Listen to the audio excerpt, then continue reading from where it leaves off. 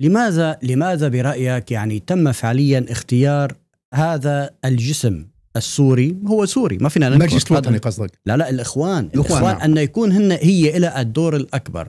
وهي اللي تلقت الدعم بشكل أو بآخر إن كان من تركيا من عدد من الدول العربية معروفة. أه لحتى هي تكون بالواجهة. وهن معروف إنه عددهم بالأصل يعني بسوريا ما هالكثافة الكبيرة. فلماذا لماذا برأيك يعني أريد ان ان ان أن يعني توصم الثورة بالإخوان بالإسلامية بهذا الشيء؟ يعني من هو ما هو هو المحرك لهذا نعم. الموضوع؟ أه يعني كتحليل وكمعلومات بداية الثورة كان هناك نوع من التوازن.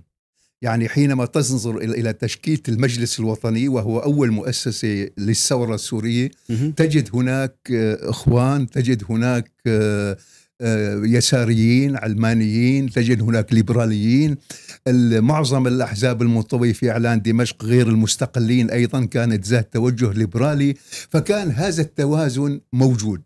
حينما آه، قامت الثورة وبدأ الصراع على قيادة هذه الثورة. الأخوان كانوا هم الحزب الوحيد المنظم. يعني دعنا نعترف السوريين لم يكن آه، لهم تجربة سياسية، التصحر الذي فرضه حافظ الأسد وابنه على سوريا منع المشاركة بأي قرار سياسي، بالتالي لم يكن هناك تجربة، نحن لا أقصد أنا أقصد الذين ثاروا. نعم. كنا نتعلم كنا نتعلم في بدايه هذا ليس هذه عيب يعني هذا دكتور يعني هذا هذا ليس شيء معيب يعني عفوا. لأنه مثل ما تفضلت ما في تجارب سابقة وما في مناخ سياسي وتصحر وشو بدك هذا ما أريد أقوله وكان هناك فعلا تجارب ناضجة كان يمكن لها أن تسترد لكن دعني هنا بقى واعذرني أتحدث عن الشخصية السورية. الشخصية السورية شخصية نرجسية. الشخصية السورية تميل إلى الشللية الشخصية السورية آه، آه، في, في هذا المعترك يعني حينما كان على الجميع أن يتخلى عن مطامعه الشخصية وعن مكاسبه الشخصية وعن حبه للزعامة وعن حبه للقيادة ظهرت كل العيوب في الشخصية السورية. نحن لا نستطيع العمل الجماعي هذا ما اكتشفناه. يعني في اجتماعات المجلس الوطني آه، سواء خارج المكتب التنفيذي أو سواء في اجتماع الهيئة العامة نعم. كنت ترى شخصيات آه، تصرخ وتقاتل بل في أول الاجتماع قبل تشكيل المجلس الوطني آه، كان هناك شجار اضطررنا قبل أن ندخل إلى الاجتماع للإعلان عن تشكيل المجلس الوطني اضطر أحد القائمين على التنظيم أن يستدعي الشرطة التركية لكي تفصل بين المتحاربين. الشخصية السورية في هذا المجال الآن إذا أرادت أن يكون لها استفادة من هذه التجارب فهي التخلي عن نرجسيتها والتعلم على أبجدية العمل الاجتماعي. أن تكون أنت فرد ضمن مجموعة حينما الأغلبية ترى أن القرار يسير في هذا الاتجاه فأنت آه، يجب أن تخضع لهذا التوجه، لكن كل من كان آه، كل ما وصلنا لمعترك فئة من الفئات تنفك وتتجه اتجاه آخر، اذا نحن يجب أن ندرس الآن آه، سر إخفاقاتنا في تركيبة الشخصية السورية وهي تركيبة معقدة أكثر من تركيبة من الملف من السوري من صنع هذه التركيبة؟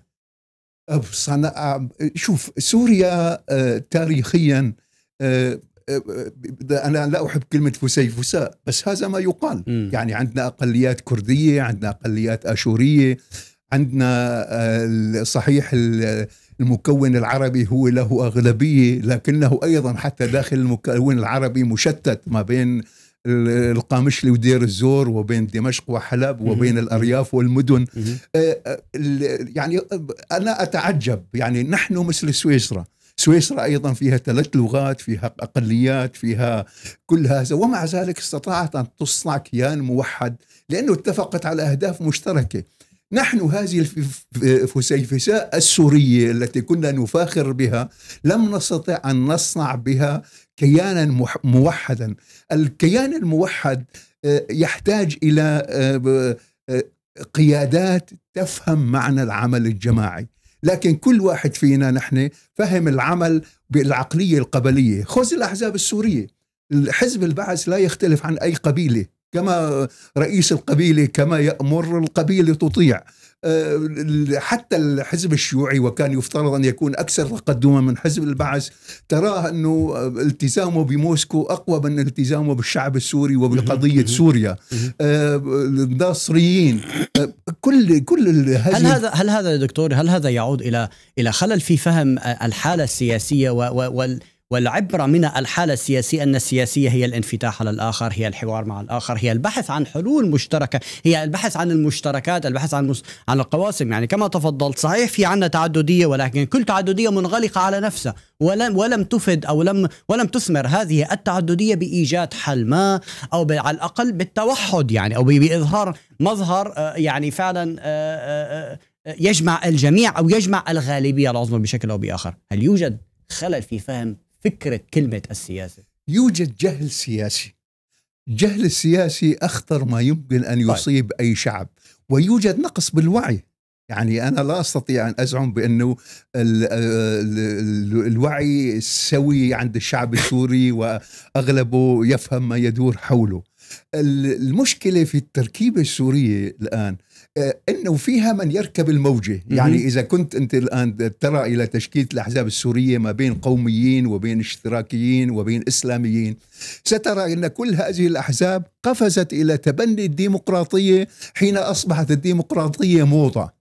يعني آه، سابقا نعم. لا ما كان أحد أي بعثي أو قومي أو شيوعي يتحدث في الديمقراطية، الديمقراطية بعد سقوط آه، آه، حائط برلين أصبحت لغة عالمية، فالكل أصبح يدعي الديمقراطية، لكنك لو نظرت إلى تركيبته سوف ترى مستبد صغير داخل هذه الشخصية فقط يركب الموجة لكنه لا يدفع ثمن تذكرة القطار على هذه الموجة ثمن الديمقراطية أن تتفهم الآخر أن تتسامح مع الآخر نعم. نعم. أن تتفق نعم. على مشترك يجمعك الآخر. مع هذا الآخر نعم. أن تقول أنا أمي وليس أنا مجموعة قبائل أن تقول مستقبل الشعب أهم من مستقبل الشخصي ومن مصلحة الشخصية هل يعني يعني ركبوا قطار الديمقراطية دون أن يدفعوا ثمنه فخربوا القطار وسرقوا سكة الحديد هل هل هل هل الدكتاتورية يعني بالحالة السورية تبقى هي الحل؟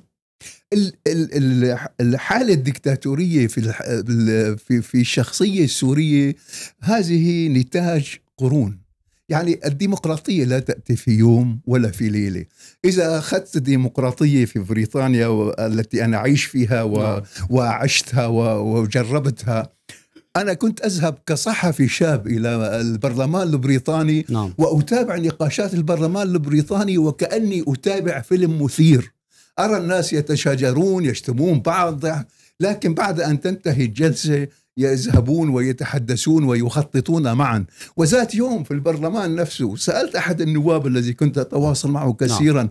أنه أنا رأيتك الآن تشتم بفلان وتحكي عنه وبعدين في, في, في بار البرلمان جالسين سوا. شو لح... قال لي آه هنا الخلاف. قال لي داخل البرلمان أنا أمثل من انتخبني لكن هنا أنا هي حياتي الشخصية. تعلمت من هذه التجربة الكثير. وحين درست وجدت أن هؤلاء هؤلاء يجربون الديمقراطية منذ 800 عام. عندهم شيء اسمه الماجنا كارتا. حين قوى الإقطاع اتفقت على أنها لا يجوز أن يكون حكم الملك مطلق. وضعت وثيقة اسمها الماجنا كارتا ووقعتها وهذه التجربة تطورت يعني بعض الناس يعتقد إنه والله المرأة الإنجليزية تصوت منذ 200 سنة، لا المرأة الإنجليزية لم تحصل على حق التصويت إلا بعد الحرب العالمية الثانية نعم. حين نعم. شاركت في الحرب لأنه ال ال ال الرجال كانوا كلهم على الجبهات والمصانع اوشكت على التوقف فتقديرا لدورها في الحرب أعطوها حق التصويت. الديمقراطية ليست آه، غرسه فجأة تصبح شجرة. لكن دكتور يعني هل هذا هل هذا عذر لحالة التشرذم التي تعيشها الحالة السورية؟ يعني إنه والله لازم تتدربوا وتتعلموا وكذا ولكن ولكن الشعوب دائما تستفيد من دروسها السابقة. يعني يعني يعني عفوا اليوم اللي بيصنع الهاتف على سبيل المثال الموجود بأمريكا عم يستخدمه اللي موجود بأقصى أفريقيا وبأقصى العالم موجود. فبالتالي اليوم يعني بصراحة انه إنه أكيد في حالة شعبية. أنا أكيد متفق معك ولكن حتما لا تحتاج 800 سنة. حتما باعتبار اليوم يعني باعتبار موجود موجود آه، الإعلام موجود نقل المعلومة. لماذا تأخرت سابقا؟ بسبب بطء المعلومة بسبب بطء وجود المعلومة والكتابة وإلى ما إلى ذلك. ولكن اليوم المعايير والأمور دكتور تختلف. أنا معك في هذه النقطة 100% التكنولوجيا قصرت الزمن ما كان يحصل عليه إنسان القرن الماضي نعم. في عشر سنوات نعم. الإنسان الحالي يحصل عليه في عشر دقائق نعم. وأحيانا في عشر ثواني نعم. التكنولوجيا الآن أصبحت هي الملاذ لإنشاء وعي جديد لكنك لو نظرت كيف نحن نستخدم التكنولوجيا سترى العجب تعال معي إلى فيسبوك وإلى منصة إكس وبقيه المنصات التواصل الاجتماعي. ستجد إنه والله الناس الذين يستفيدون منها فيها محاضرات وفيها دروس علمية وفيها نعم. أي نعم. شيء اذهب إلى المواقع العربية ترى فيها التشاتم وترى فيها التكفير وترى فيها التخوين نعم. يعني حتى هذه المنحة الإلهية التي. التي جاءتنا عن طريق التكنولوجيا لم نحسن استغلالها هل هل... يجب أن نعترف بأخطائنا يعني حتى م. تريد أن تصلح نفسك يجب أن تقول أنا والله أخطأت نعم. لكن حتى الآن ليس عندنا من يريد أن يعترف بالخطأ نعم. كلنا نعرف الحقيقة وكلنا قادة طيب. وكلنا زعماء وإن لم تنتخبوني فسأبيد المدينة نعم. هذه العقلية نعم. هي طيب. التي دمرت كل آه هذا الوهج الشعبي الذي جاء مع الثورة السورية